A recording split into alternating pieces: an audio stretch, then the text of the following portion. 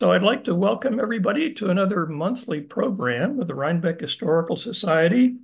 Uh, my name is Mike Frazier, and I am really delighted that the Historical Society this evening has as our speaker our county historian. Um, I'm not sure how he's able to uh, handle the many requests that he gets and the many organizations that uh, he interacts with, but somehow he manages to handle all of them. And we're very fortunate to uh, have him with us again. Um, many of us remember when there was a period when there was no county historian and that position was left vacant uh, for a number of years. But in uh, 2012, the position was restored and uh, Dutchess County has been blessed ever since. And uh, Rhinebeck among the communities and historical societies that has benefited from what Will has been able to do. Um, so in March of 2017, some of us remember uh, Will joining Nancy Kelly in a talk about prohibition in Rhinebeck. And again, later in 2017, uh, using Dutchess County's ancient documents as his source, uh, spoke to our members about crime and society in Rhinebeck. And two years ago, we heard Will talking about an historical treasure that runs parallel to Route 9G, hidden right in our southeast corner, uh, namely the Palatine Farm, uh, Palatine hamlet of Wurtemberg.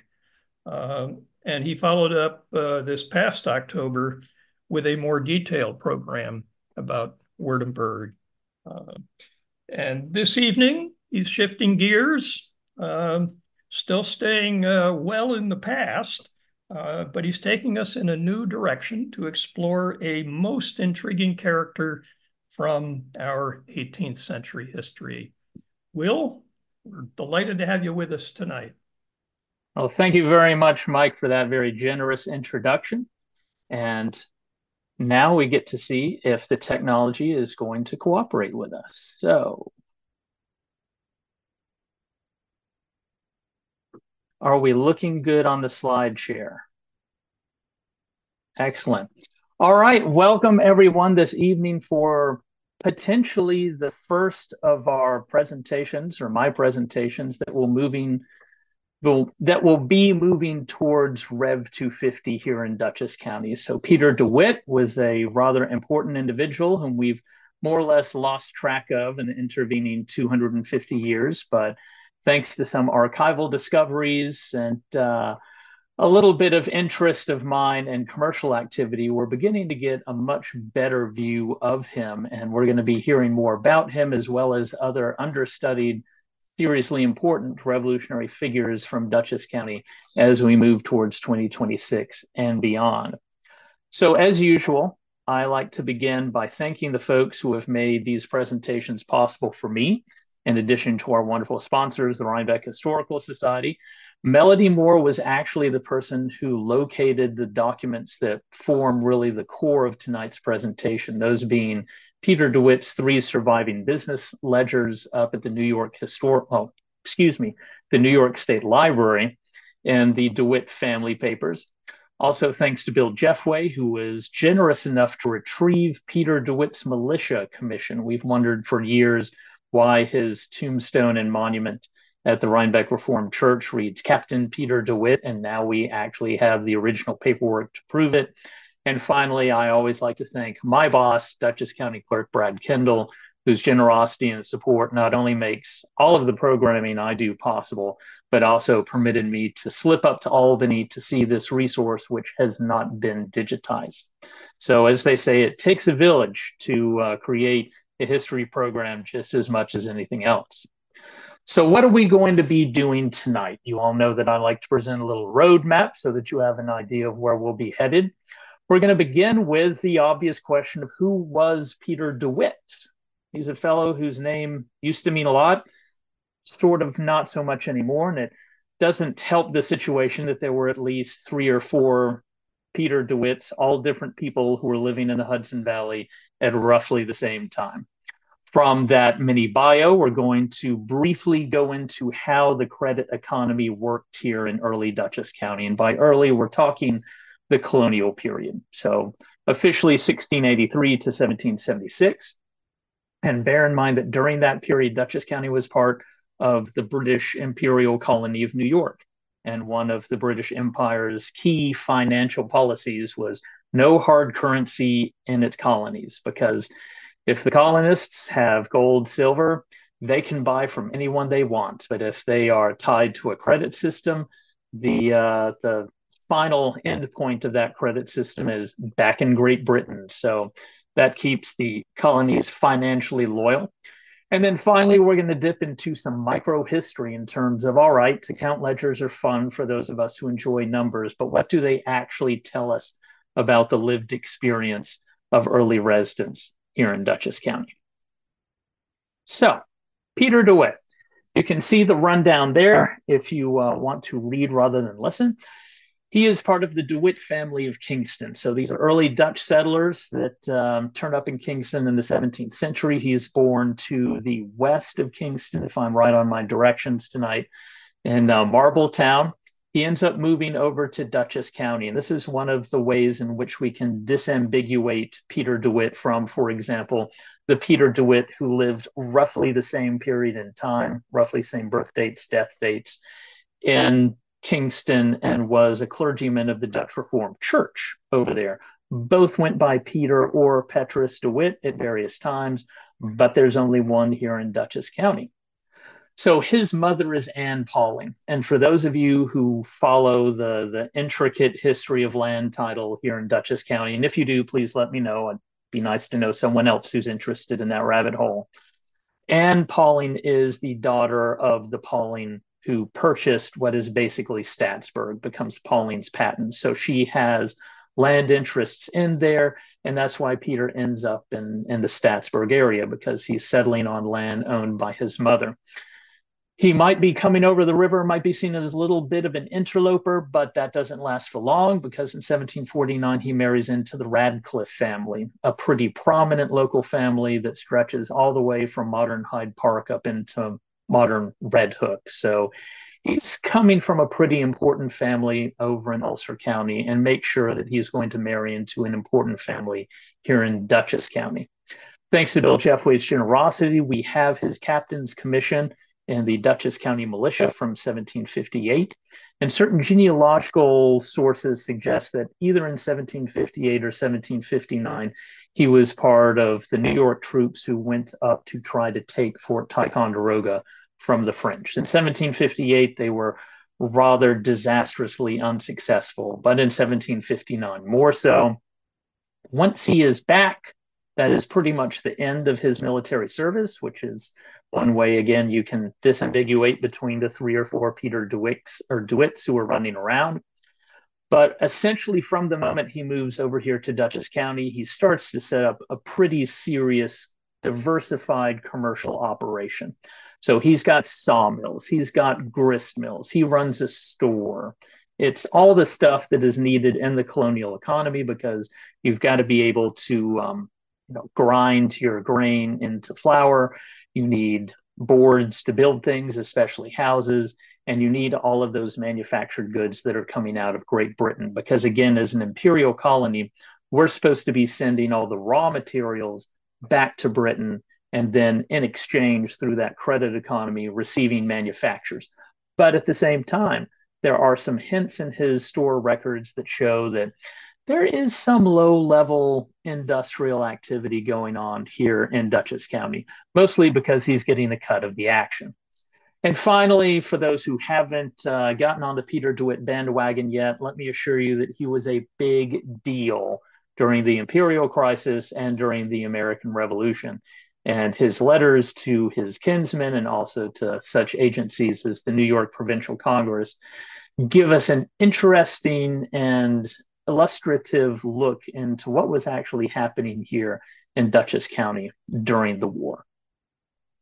So there is a beautiful image there of uh, Peter DeWitt's militia commission. And this is one of the first indications we have that Peter is a big deal because to be commissioned as a captain, and that's the commander of a company in the New York uh, colonial militia, is not a small thing. These companies are not filled up by election. In other words, you don't have the privates and corporals and sergeants of the company get together and vote who they're going to have as their lieutenants and their captain.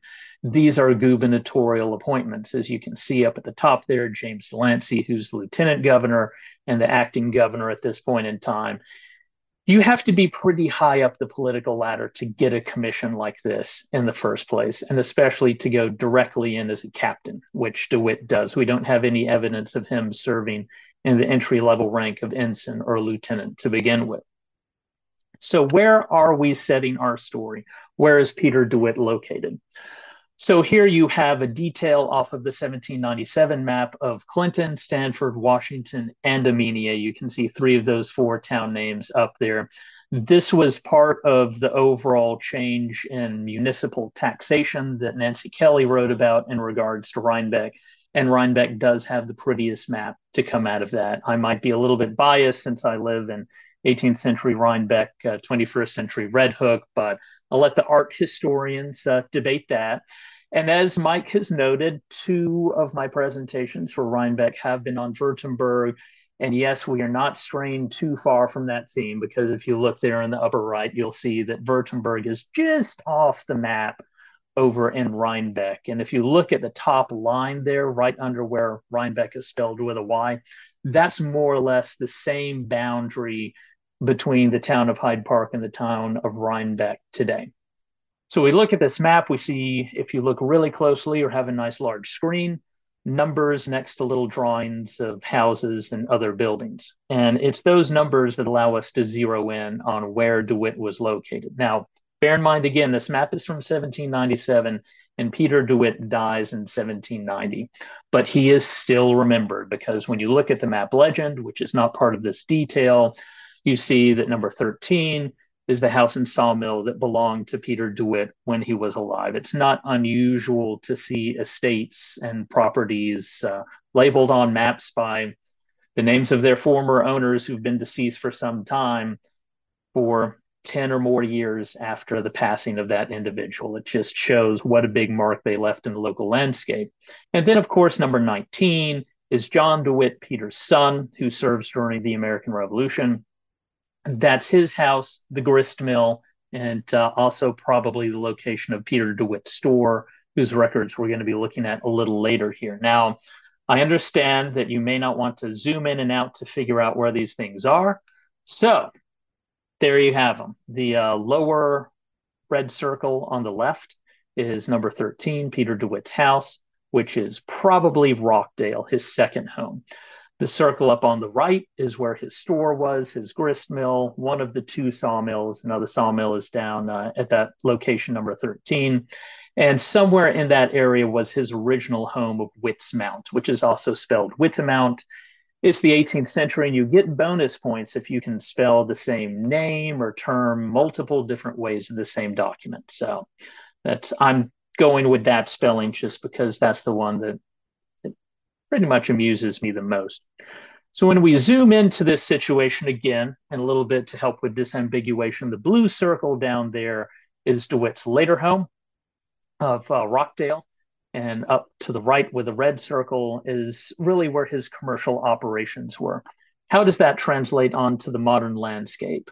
Well, thanks to Google Maps, we can take a quick look here and we see that Peter's last home is down pretty much where the entrance to Margaret Norrie State or Mills Norrie State Park is located today. On the other hand, his major commercial operations, including that sawmill and grist mill, which would have been water powered, are up in the modern hamlet of Pleasant Plains. And if you take, um, I believe it's Hollow Road off of Route 9G today, and you follow it up towards the Pleasant Plains Presbyterian Church, you will still see the dam from that operation there. It went through several different changes of hands after DeWitt's death and when John DeWitt got out of the business, but it has most recently been known as Frost's Mills. So that's where we are on the landscape in that area, which historically has been associated with Rhinebeck, though never technically part of Rhinebeck. And we'll see how close that association is in just a few minutes here. All right, so Peter DeWitt's a big deal. I've made this case for you.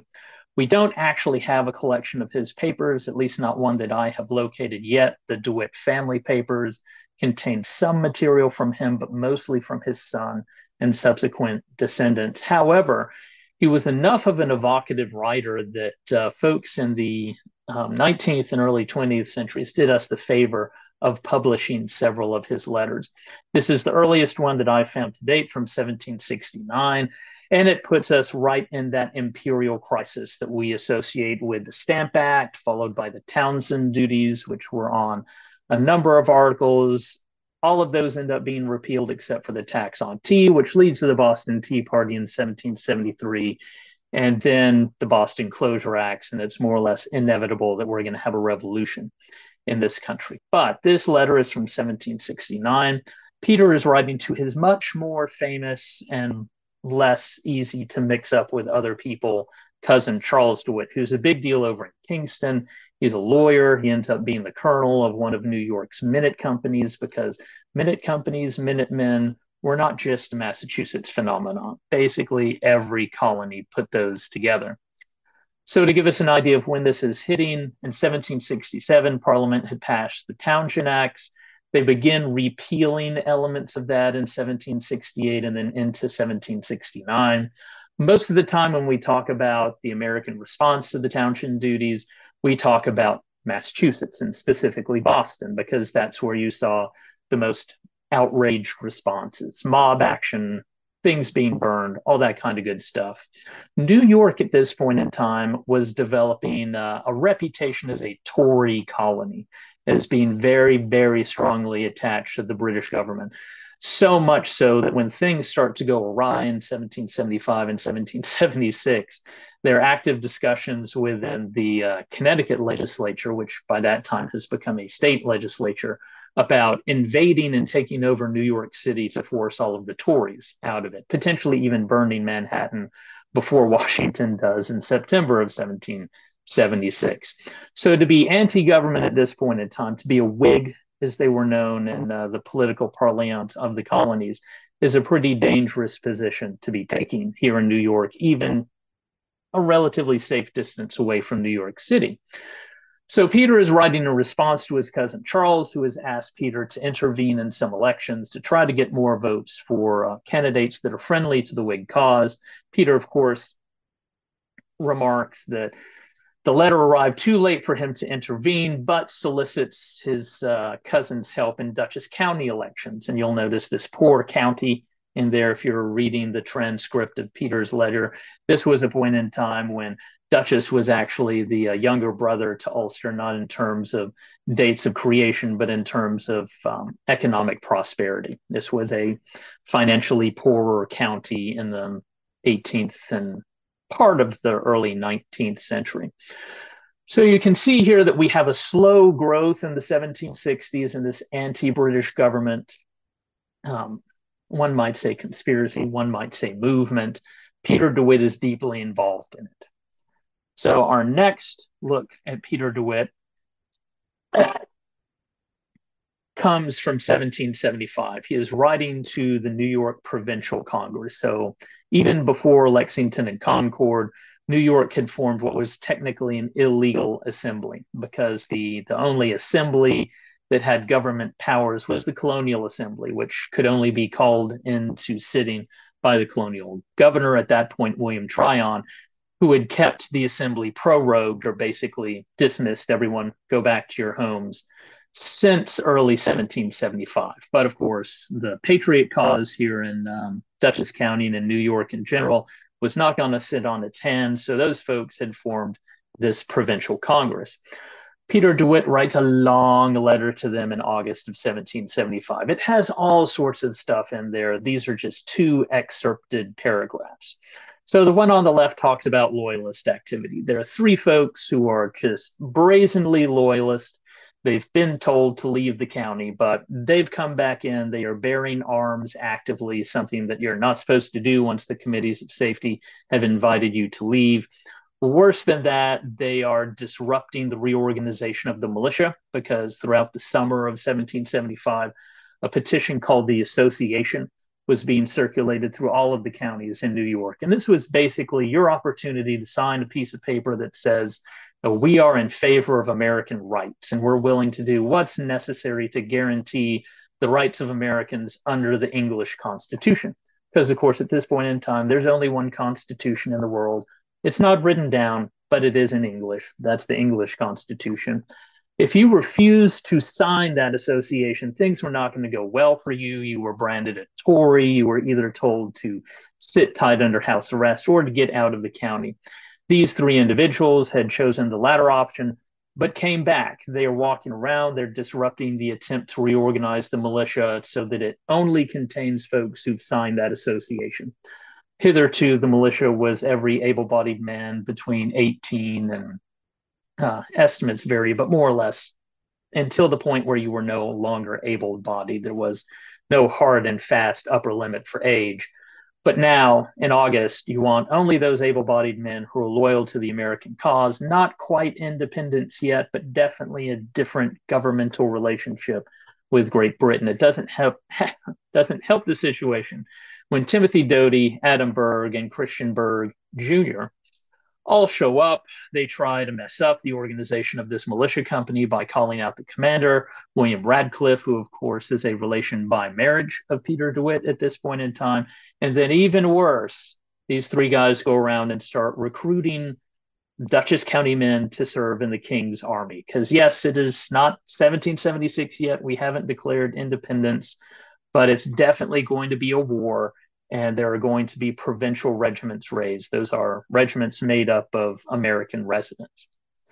So it's, it's clearly bad, and Peter DeWitt wants the New York Provincial Congress to know that, hey, you know what? You can't necessarily count on Dutchess County unless you're going to give us some money and some men from more loyal, loyal to the American cause areas like Ulster County to kick all of these loyalists out. And that's what you see on the right hand side um, excerpt there is some of Peter DeWitt's thoughts about uh, how we can do this, bring in militia from other districts, reach out to our friends in Connecticut. Sure, they want to burn New York City to the ground, but on the other hand, New York City's full of Tories. So didn't they somehow earn that treatment? And then he goes on to talk about here are the officers that you want to appoint because they're both good and loyal to the American cause and here are the ones that you don't want to deal with, and much other sort of down in the weeds, spilled tea, gossipy things, because Peter DeWitt was, if nothing else, a tremendous gossip, which makes his letters extremely valuable for historians today. So, finally, our last one that uh, I was able to dig up is from 1777. The war is raging, and uh, Peter is now in the grip of the Continental Army's supply problems. It's still pretty early in the war in terms of supply problems. It's going to get worse before it gets better. And his son, who is an officer in the the Whig, as it were, or the state of New York's Dutchess County Militia, has been tasked with finding flour for the Continental Army. It's one thing to find flour, and of course, it makes sense that Peter DeWitt's son would be the one um, tasked with getting it because his father owns a grist mill but you have to be able to transport that flour. And it turns out that there aren't really that many barrel makers in this part of Dutchess County in the 1770s. There do happen to be three, all of whom are Tories that were uh, exiled to Exeter, which, if I recall correctly, and if uh, I do not, I hope someone will correct me in the comments section. Um, Exeter over in Connecticut, where a lot of New York loyalists were sent over the state line because Connecticut was much more avowedly loyal to the American cause than the King's cause. But they've very quietly slipped back into Dutchess County. And Peter is writing again to his cousin Charles, who has a great deal of influence, to say, Is there any chance that we can basically get these guys paperwork that would tell the Continental Army and the militia and the committees of safety to leave them alone as long as they make barrels for the American war effort? Because if we can't strike that deal, we're not going to be able to to transport the flour that the Continental Army needs. So you see, in not too long a space of time, there's a huge attitude shift here from loyalists, too many of them. We got to get them out of here. We've got to stamp down the Tory threat. And by 1777, well, you know, we can probably let these ones hang out as long as they're useful. A little bit of mellowing once you get into the war, and uh, you need to start making compromises to getting stuff done. So, for those who are wondering, because the next slide is going to tie in with this, how the revolution in Dutchess really sort of kicked off, everything was great here until May of 1776. And in May of 1776, which is one of the months in which the courts meet, the courts were closed by uh, American patriots, or if you prefer the other perspective, rebels. And with that, county government basically shuts down until July, or sorry, June of 1777, when the Board of Supervisors and supervisors like today are the leaders of every town meet again in Poughkeepsie. It's a very different cast from what it was last in 1775. We actually, because there's not a meeting in 1776, we don't have a list of who would have been in office at that point in time. But if you're looking at the slide with us, you'll see that the second name down is Peter DeWitt because he becomes the supervisor of Rhinebeck. Technically, he's not living in the colonial precinct, which is what the, the term is they use for towns at that point in time as precincts. But he's significant enough that his is the only name on this list that could possibly be the supervisor for um, for Rhinebeck, because at this point in time, Hyde Park doesn't exist as a polity. Neither does Clinton. What you have is Charlotte Precinct, which reaches all the way from the Hudson Valley east to the border with Amenia, a tremendously huge chunk of territory that eventually is divided up into the modern towns of, and let's see if I can get all of this right Hyde Park, Stanford, Washington, Pleasant Valley, and Clinton. So that's five modern towns that come out of this colonial precinct. So he's there in 1777. He is still there in 1780 and on into the 1780s. And these come from the books of supervisors that are preserved today down in Poughkeepsie in the Dutchess County Clerk's office. So he is pretty busy during the war leading the precinct of Rhinebeck and also being a seriously important part of Dutchess County government.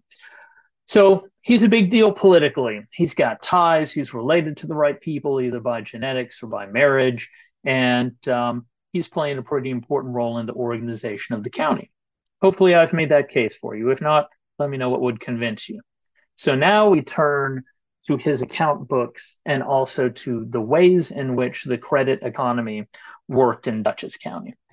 So, just to backtrack a moment, just to remind us all, hard specie is not technically in circulation here in Dutchess County. If you go to the store to buy something, in in this case 1764, you aren't paying in gold, silver, or copper.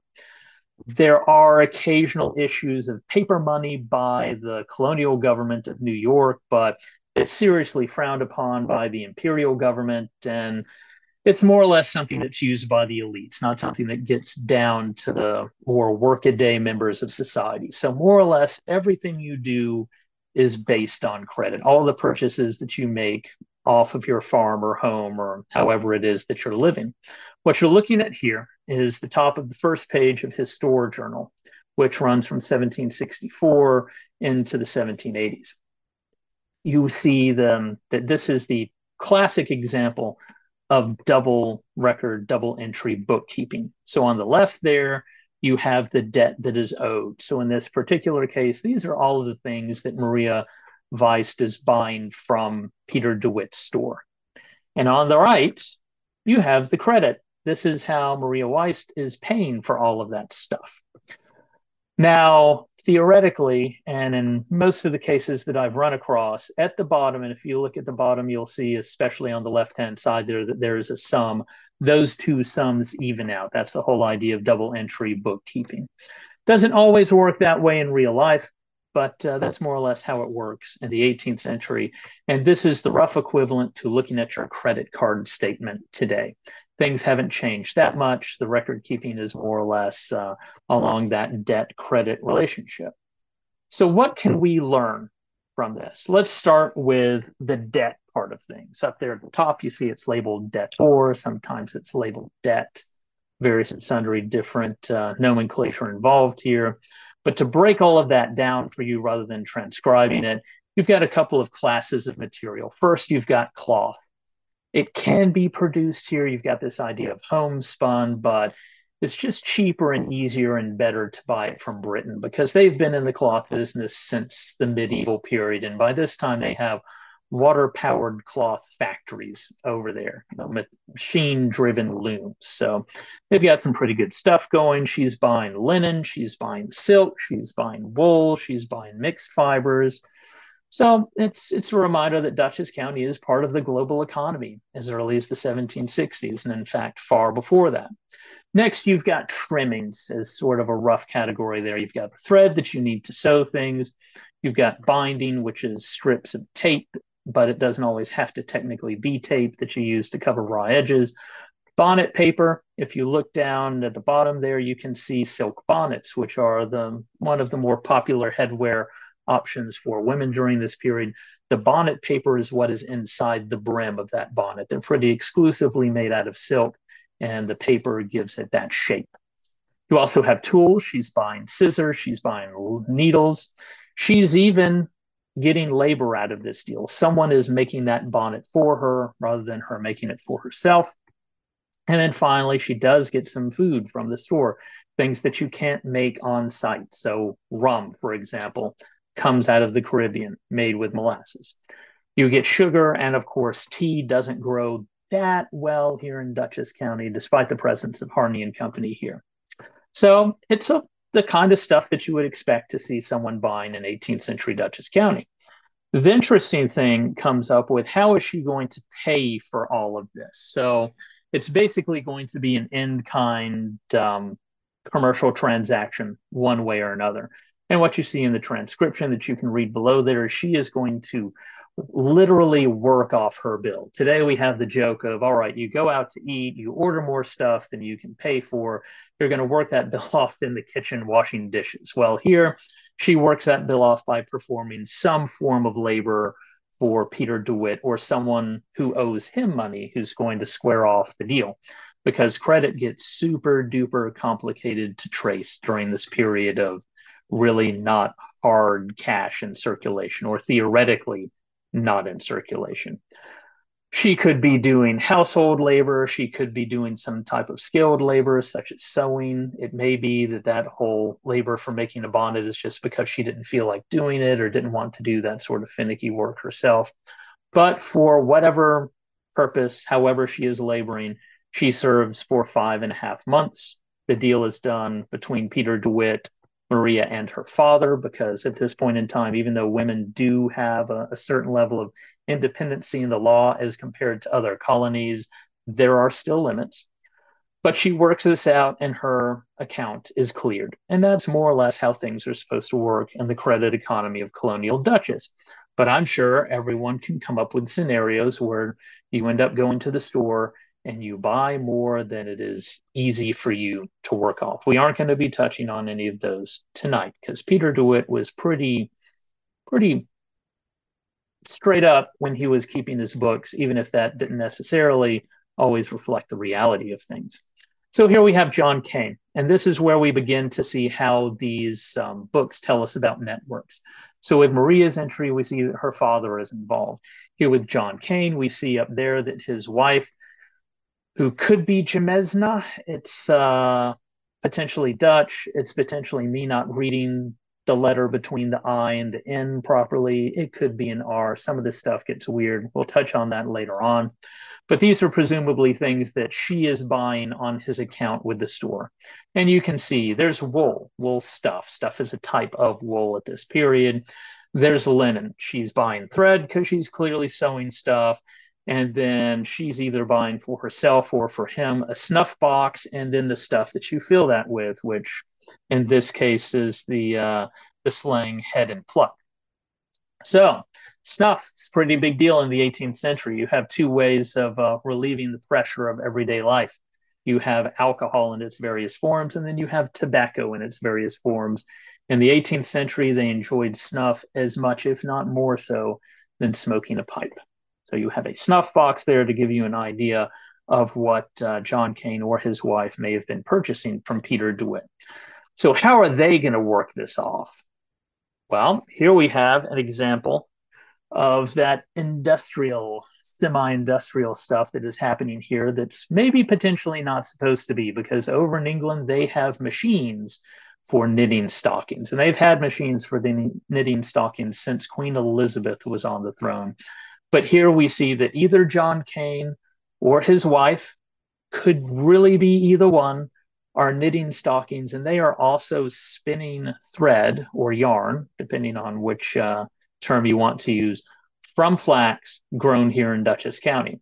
Some of these stockings that they are knitting are um, pretty advanced. They're rid stockings. You can see a modern example on the right there that takes uh, more skill than knitting, knitting, just a plain stocking. And then at the bottom there, and it's transcribed for you, um, there's a knitting of three pairs of stockings for Peter DeWitt's enslaved individuals, his enslaved laborers. You see the, the period term there. More or less, whenever we see that term, it denotes enslaved labor. And we will see why, because when they uh, when they're talking about a free person of color, they call that out. All right. And is that potentially the only example of uh, enslaved people popping up? A little bit of foreshadowing, not so much. So Daniel Mills, per his wife Martha, so both of them are in, involved in this account. What are they getting from Peter? They are getting potatoes, so many potatoes. Because if you can read that script, one bushel of potato, one and a half bushes bushels of potatoes, a half bushel of potato. It just goes on and on. They were big into potatoes. They're buying starch, which is probably for laundry purposes rather than cooking purposes. And then, as I mentioned uh, earlier, sometimes I look at this stuff, and folks, I've been reading this sort of handwriting for close to 30 years now. And I still don't know what three pounds of grothy or grossy wool is. Could be Dutch. Dutch does turn up in this stuff because I'm guessing that the two girt floret might also be Dutch. If you have an insight into this, please let me know. So, how is Daniel Mills or his wife going to work this off? Well, first of all, they're spinning and gespunnen there's some Dutch for you. So they're taking flax and they are turning in, it into usable thread or fiber. They are also doing some other stuff that I have no idea right now what it means. The two hemde genult for Cornelis, which means something for a guy named uh, Cornelius they make an interesting distinction here, which I know of from other 18th century uh, sources about shoemaker's thread. Because for those of you who've been to Colonial Williamsburg, Sturbridge, or anywhere else where they have uh, historical trades going, shoemakers are using an entirely different level of thread than the folks who are making clothes. Because think about it, that thread is going to be subjected to a lot more stress than anything uh, normally in a shirt or a pair of breeches or a coat because it's making contact with the ground and with paved surfaces all the time. And uh, shoemakers are, of course, trained to make their own thread, but why make your own thread when you can later buy it from Peter DeWitt, who is probably stocking his shelves with stuff that people are making for him to pay off his debt? And again, we see enslaved people popping up because either Daniel or his wife are making three shirts for them.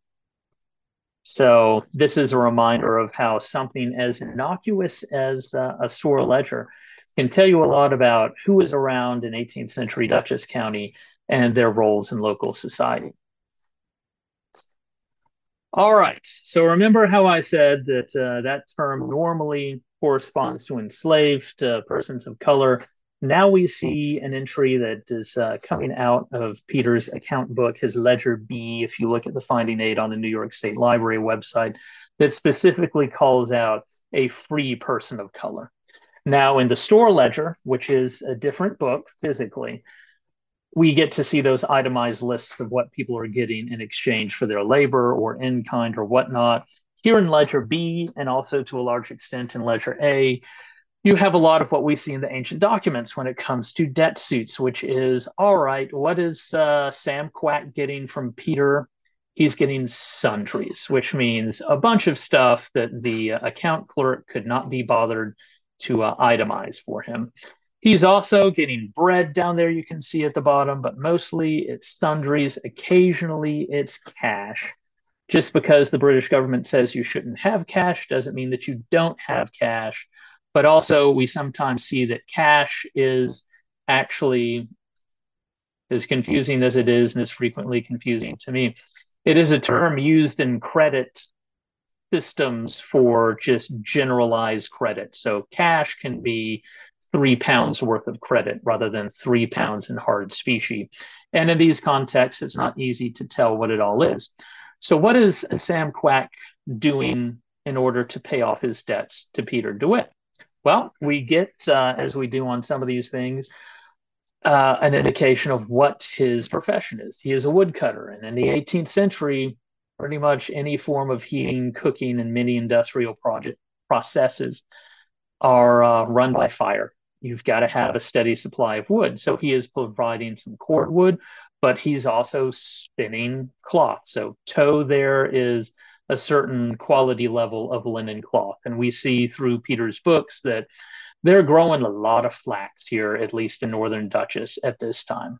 So he's got cordwood, of course, clearing land, cutting wood, all sorts of stuff to keep his accounts balanced with Peter. So this is all great stuff for the, the interpersonal level of how does Peter DeWitt's store operate. But Peter doesn't become uh, a pretty serious individual in 18th century Dutchess County and in the wider Rhinebeck, uh, Staatsburg area because he runs a store. There are people who do, but uh, he does not limit himself to just that level of commerce. He is also engaged in high commerce. For example, in 1788, jumping a little bit ahead in terms of time, but not in terms of theme, he decides he's going to get into the brick business. So if you think back to that map of where his house and operations were down at number 13, close to where Mills Norrie State Park is today, that is located on the Indakill, which is today the Indian Kill. So you see a debit here, which is in this case Peter DeWitt owing James Corkin for five and a half days or otherwise, as you may read that fraction work, that basically he is setting up the various and sundry things needed to make bricks. On the other side of that page, you have the profit. So, over the course of roughly a year, beginning in August of 1788, Peter DeWitt's people, and in this case, it is almost certainly going to be his enslaved laborers, make nearly 31,000 bricks that's a lot of bricks. That's at least the number he's sold. They've probably made more than that. And if you ever want to look into 18th century brick making, check out the Colonial Williamsburg website because that is one of the trades they still have going. And let's flip back for a moment to see what was Peter's cost outlay. So you see there it's 15 shillings, one and a half pence, because back in the 18th century, a halfpenny was still a serious thing. In fact, you see British government accounts in the millions of pounds calculated down to the halfpenny level, sometimes the farthing, if you really want to get detailed.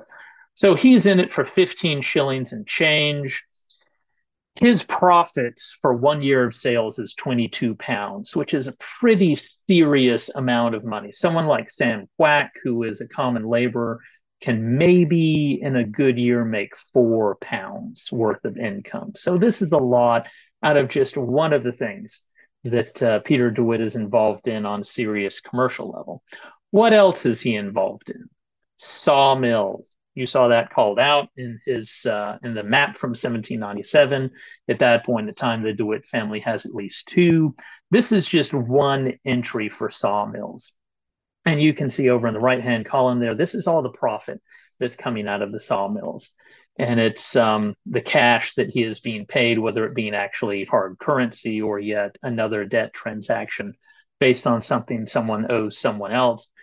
He's got a pretty serious uh, income stream coming from that because that's basically October of 1759 with charges going up until 1775. But there are other entries in this book because you know it's a book, it's not a computer sometimes you just need to start a new page on this stuff rather than keeping it all in one page. It's a major operation. What else do we have? We have fat cattle because no one wants to buy thin cattle. Any cattleman can t- tell you that. Where does fat cattle come in? Where is Peter getting this stuff? Well, if you either recall or go back and watch my second presentation on um, Württemberg, which touches on some of Peter DeWitt's accounts with the Württembergers, the Germans who were living there, you'll see that they tend to pay off their store bills, which unfortunately are mostly just sundries and cash, with a variety of um, products from their farms, including fat cattle. So Rhinebeck at this point in time is in the cattle business Peter is receiving it in terms of payment for things that he is selling at his store, then he is turning around and selling it.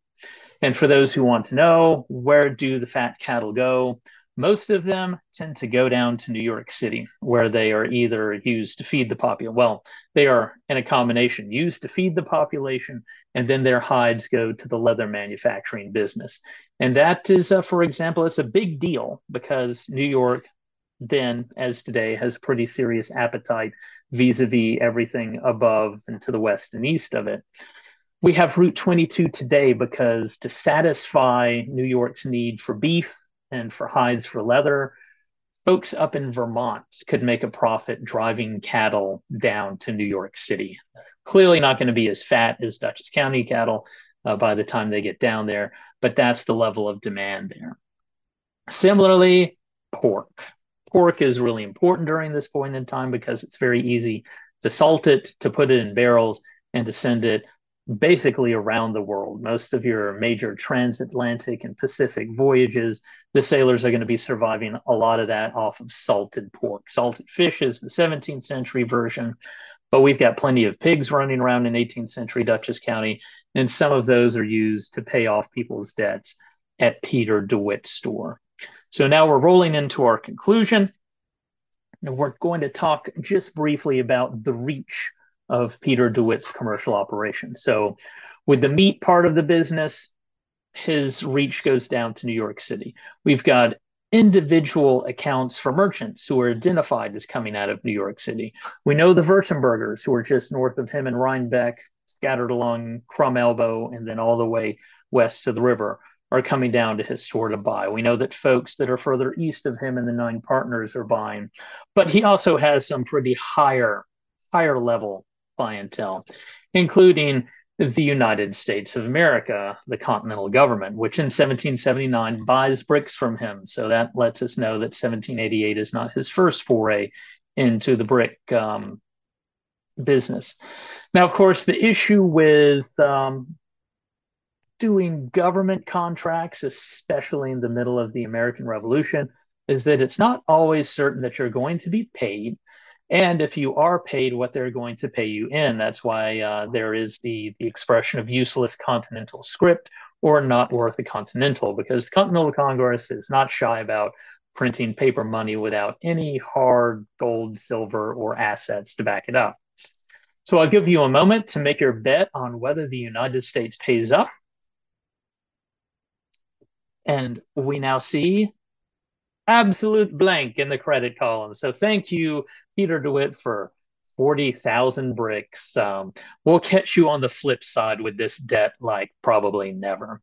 On the other hand, Peter also does business with Dutchess County because when you are a town supervisor, when you have to leave your town to go down to Poughkeepsie for the annual supervisors meeting, although by this time they're meeting four times a year, the county picks up your bill for travel. It also picks up the bill for any time you spend doing county service, such as either assessing taxes, collecting taxes, or, and this is the reason they meet down in Poughkeepsie a couple of times a year, looking at all of the um, claims against Dutchess County for various and sundry services that are performed and deciding, yes, we're going to pay those. No, we are not going to pay those.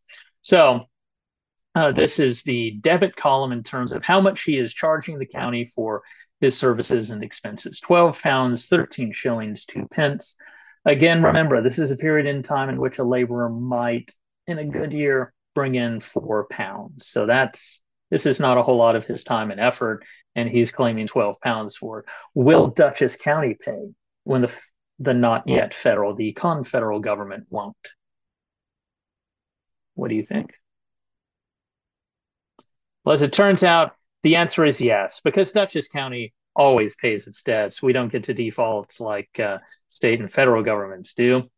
And on that happy note, I'll bring tonight's presentation to an end. You've got my contact information there if you uh, need to reach out.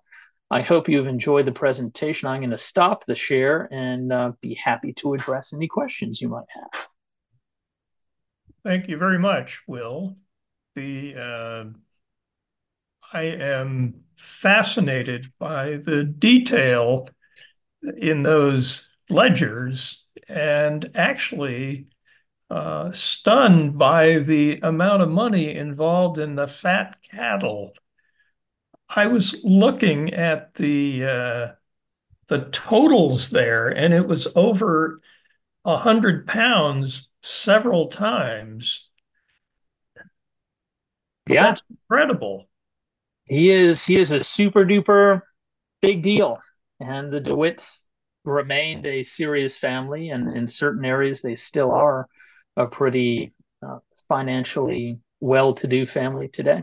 That's that's the colonial wealth. That's the Knickerbocker Society of the uh, the Gilded Age. Those folks who can trace their roots back to people like Peter DeWitt. We've got a good number of people here. Uh, Jeff, have you any uh, questions that you need to relay from our viewers? Yes, we have a we have well a question from Maya. Maya okay. asks, "What is the connection to Providence in Sam Quack's ledger? Is this Providence, Rhode Island?" It is not Providence, Rhode Island, although I understand why uh, you would suggest that it is, because that was also my first thought about what. But normally, when you see something weird in Dutchess County history like that, there is an explanation for it. So, the area that we today know as Pleasant Plains or Frost's Mills, because they both they're contiguous with one another, was initially known as Providence because the the story of the Pleasant Plains Church, the one you see today, is a Greek revival structure, but that goes all the way back into the mid 18th century when uh, a Presbyterian organization received permission to first begin setting up an operation there. And um, the area was called Providence at that time because that was part of the extremely lengthy name of that church association. Thank you. So a reminder to everyone, if you have any questions, you can chat them to me, the host, and I'll forward them to Will. Or if you go to the bottom of your screen, move your pointer to the bottom, click on reactions, and then uh, click on raise hand. Or I've uh, enabled anyone to uh, unmute their mics. So if you have a question, make sure your mic is unmuted, and uh, why don't you go ahead?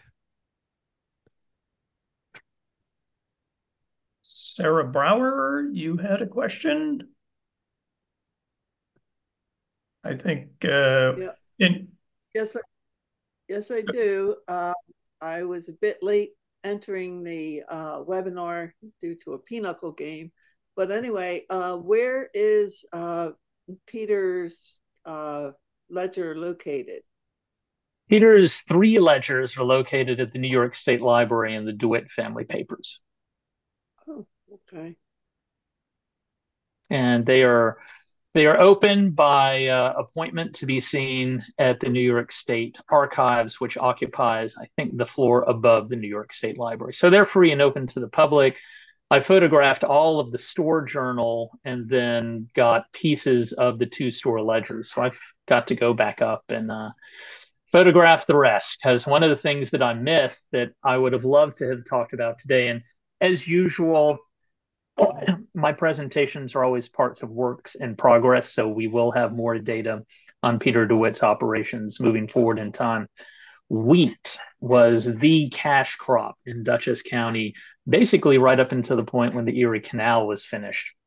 And he has so many pages in these lectures dedicated to the amount of wheat he is receiving as payment for uh, things purchased at his store, and also his dealing in the wheat market, which was just like mind blowingly serious amounts of money. If you thought fat cattle was a serious economic activity, you know, uh, wheat just far surpasses it. It's what the Reynolds family of Poughkeepsie actually made its fortune on a century later, is just being middle people for the the movement of wheat from west to east.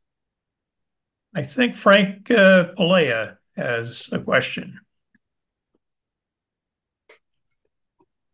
Frank, go ahead. You Okay. need to unmute yourself first. Uh, yeah, I, I'm wondering if there are any DeWitt family members still around, and if so, how and how would we know them and who are they?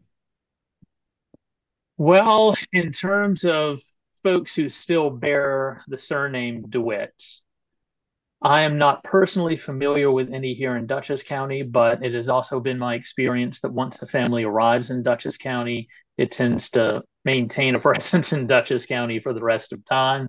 Hence, uh, there's still um, Van Cleeks hanging around, uh, Ben Schotens, Boone Schotens, all of the old Dutch names.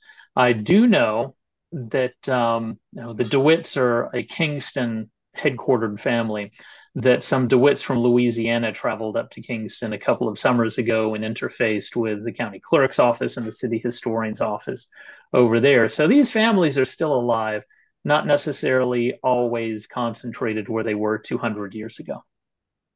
Okay, thank you.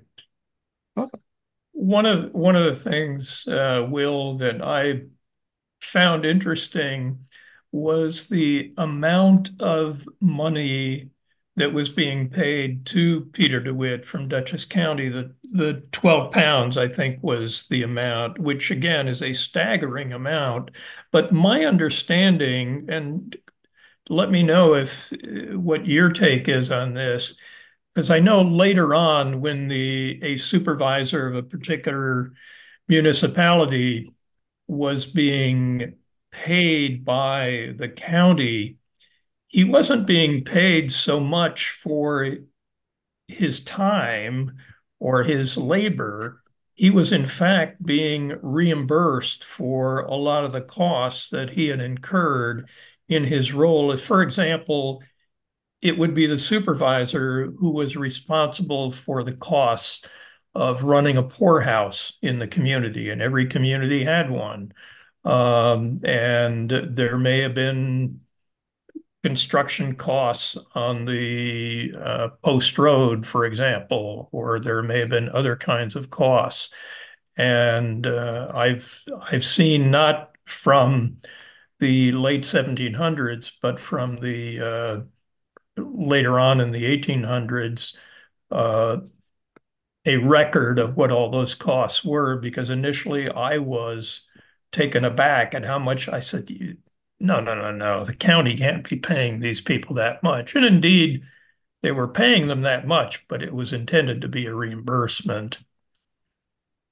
It is a reimbursement, and the 18th century and for most of the 19th century, here in um, in New York, we did not have municipal poorhouses. The poorhouses come out of the Yates Act of 1824.